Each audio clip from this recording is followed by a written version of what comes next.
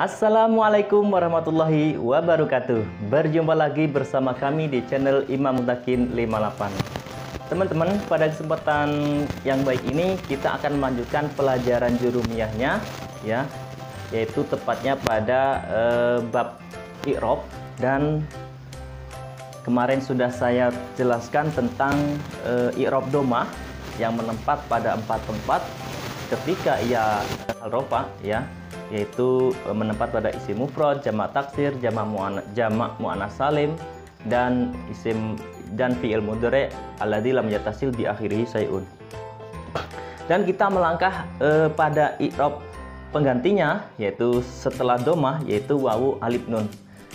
Eh, pada video sebelumnya juga saya terangkan terangkan bahwasanya i'rab rofa itu memiliki empat alamat yaitu domah, wawu, alif, nun dan domah menjadi alamatnya i'rab rofa menempat pada empat tempat sudah kami terangkan pada video selanjutnya. Jadi bagi kalian yang belum mengikuti video sebelumnya silahkan ditonton terlebih dahulu. Jadi kita langsung saja ke bab ma'rifatu alamatul i'rab ya. Kalian bisa simak ya pada layar berikut ini. Saya bacakan ya. Fa'amat doma ini doma yang kemarin sudah. Yang kedua adalah wa amal wabu fatakunu alamatan li fi aini fi jam'il mudzakkaris salim wa fi wa fil asma'il khamsah wa hiya abuka wa ahuka wa hamuka wa fuka wa zumalin.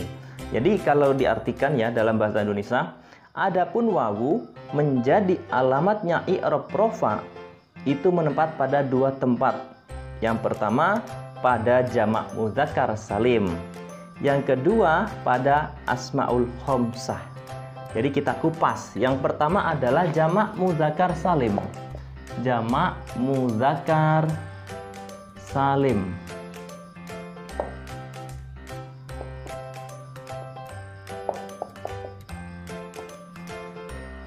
Kita mengetahui terlebih dahulu apa itu jamak mudzakkar salim ya. Jamak mudzakkar salim adalah jamak yang memiliki arti laki-laki yang selamat. Berarti isim yang memiliki arti laki-laki banyak yang selamat. Artinya dia tidak pecah dari kemufrotannya jadi mudah untuk di, uh, diketahui rumusnya bagaimana cara membuatnya. Cara membuatnya yaitu tinggal ya tinggal ditambahi wawu dan nun ketika i'rab dan ya nun ketika tingkah nasab dan jer. Kita membahas yang ini dulu ya yaitu wawu dan nun Jamak mudzakkar salim ya, seperti contoh jaa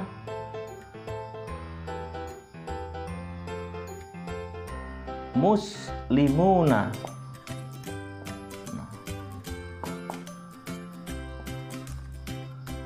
Ini adalah contoh jamak mudzakkar salim. Kenapa dinamakan jamak mudzakkar salim? Karena asalnya muslimuna adalah muslimun. Bagaimana cara membuat jamak mudzakkar salim? Seperti yang telah saya katakan tadi yaitu ditambahi wawu dan nun. Jadi tinggal tambah saja yaitu wawu dan nun. Jadinya muslimuna. Kenapa pakai wawu nggak pakai ya? Ya inilah ketika dia tingkah rofa ya ini adalah tingkah rofa ya karena ini alamatnya rofa. Maka jamak mudzakkar salim dia menggunakan wa wawu. Karena bisa saja jamak mudzakkar salim menggunakan ya nun muslimina. Artinya sama, yaitu memiliki arti laki-laki banyak, tetapi ini tingkah nasab dan jer, ini tingkah rofa. Artinya ketika dia menjadi subjek menggunakan ini, ketika menjadi objek atau kemas karena kemasukan fiil apa isim mm, huruf jer maka dia menggunakan ini artinya sama muslimun muslimin tergantung kedudukannya dia menjadi apa sehubungan ini menjadi sehubungan ini mahal rofa atau menjadi subjek maka menggunakan wah wawu itu tadi eh, jamak mudzakkar salim. Yang kedua wawu ini menempat di mana? Yaitu asmaul khomsah. Asmaul khomsah. Ini kita hapus biar ada tempat untuk memberi contoh Kita ketahui terlebih dahulu apa itu asmaul khomsah. Asmaul khomsah dari namanya saja, asma itu beberapa isim, khomsah itu lima. berarti isim yang lima yaitu abun, ahun, hamun, famun, dan zu yaitu abun, ahun, hamun, dan famun, dan zu isim ini namanya asmaul khomsah karena ketika tingkah rofa, tingkah jar, tingkah hom, tingkah nasob nantinya ini yang menjadi pembahasan isim-isim lima nanti. Sehubungan dia tingkah rofa maka dia menggunakan wa wawu. Contohnya ja'a. Ja'a telah datang. Siapa? Berarti dia menjadi subjek. Maka menggunakan wawu. Abu. Ini ayah siapa? Ayahmu abu.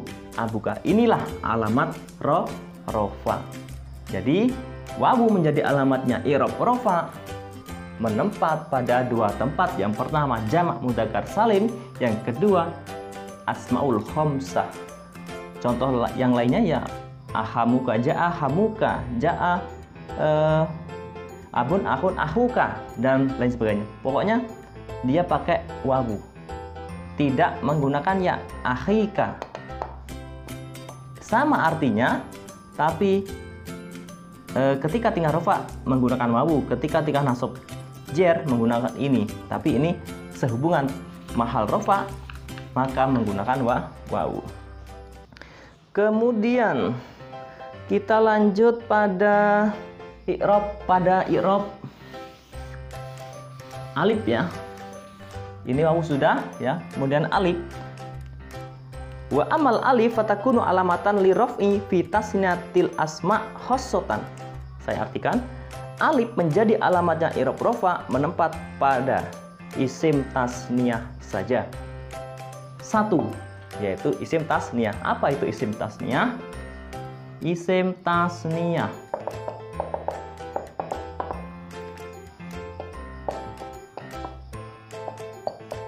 Kita ketahui terlebih dahulu apa itu isim tasniyah. Isim tasniyah adalah isim yang menunjukkan arti dua ketika tingkah rofa menggunakan alif dan nun ketika tingkah uh, jer dan nasab menggunakan ya dan nun sehubungan ini tingkah rofa maka menggunakan wawu ja'a zai eh, maaf menggunakan alif zai dani telah datang dua zaid artinya Zaidnya ada dua ya. Ah, zaidnya ada dua. Jadi alif ini ini adalah alamatnya irob ro, rofa. Sehubungan dia isim tasniah dan menjadi subjek artinya mahal rofa maka ia menggunakan ah, alif ya ini. Jadi dia misalkan zai jaa zai daini misalkan. Ini artinya sama dua zaid. Tapi ini mahal rofa, ini mahal nasab atau jer. Jadi untuk membuat isim tasniyah ada dua cara. Tinggal tambahi alif dan nun di akhir atau ya nun di akhir. Misalkan ini kolamun yaitu pena. Ini pena satu karena isim mufrad. Bagaimana cara membuat arti dua pena? Tinggal tambahi alif dan nun. Kolamani ya. Kolamani atau ya dan nun kola maini. Ini artinya sama-sama dua pena, tapi ini mahal rofa, ini mahal jer. Jadi sehubungan ini mahal rofa, maka menggunakan alif, tidak menggunakan ya. Zaidani tidak zaidaini, walaupun artinya sama. Jadi itu tadi teman-teman ya yang alif menempat pada satu tempat yaitu isim tasnia. Selanjutnya Nun menjadi alamannya irob rofa yaitu menempat pada fiil mudore alladhi lam yattasil bi alladhi yattasil bi akhirih sayun. Nun ya. Sekarang ini, ini sudah, ini sudah. Fiil mudore kalau domah kemarin yaitu menempat pada fiil mudore alladhi lam yattasil bi akhirih sayun. Kalau nun ini kebalikan Nun ini menepat pada fi'il mudhari yat tasil bi akhirihi sayun alladhi yattasil diakhiri syai'un. Jadi fi'il mudhari yang bertemu dengan sesuatu. Kemarin sudah saya jelaskan apa itu sesuatu maksudnya, yaitu pada video sebelumnya. Silahkan tonton video sebelumnya pada uh, deskripsi. Jadi, misalkan yaf alani, yaf aluna, taf ala, taf alina, yaf yaf alani, taf aluna, taf alina. Dia menggunakan nun. Karena ini adalah fi'il mudhari. Ketika dia tingkah rofa, maka alamatnya menggunakan nun. Jadi nun ini ketika ditanya, ini nun apa? Ini adalah nun alamat roh, rofa. Ketika dia tingkah rofa, maka dikasih alif. Nah itu ya, eh, maaf, maka dikasih nun.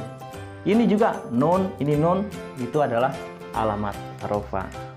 Jadi ini tadi ya, eh, usai sudah alamat-alamat i'rab telah kita bahas menempat pada di mana saja eh, dari awal ya domah wau alif nun. Domah sudah saya bahas pada video sebelumnya. Dan sekarang wau alif nun kita sudah bahas. Dan insya Allah besok kita akan bahas alamat nasab. Jadi jangan sampai tertinggal pada video selanjutnya. Baik teman-teman eh, ini tadi penjelasan tentang alamat atau irob rofa yaitu wau alif nun dan tempat-tempatnya sudah kami jelaskan bersama. Semoga apa yang kami sampaikan bisa menambah wawasan, menambah pemahaman e, kita semua untuk bisa lebih memahami apa itu e, pembacaan bahasa Arab dan kitab kuning. Insya Allah nanti kalau sudah kalian e, bisa nanti kita praktekkan cara membaca kitab kuning yang baik dan benar. Terima kasih dari awal hingga akhir. Mohon maaf apabila ada salah kata, salah tulis, kritik, saran, dan masukan selalu kami nanti ya. Dan kami ucapkan wassalamualaikum warahmatullahi wabarakatuh.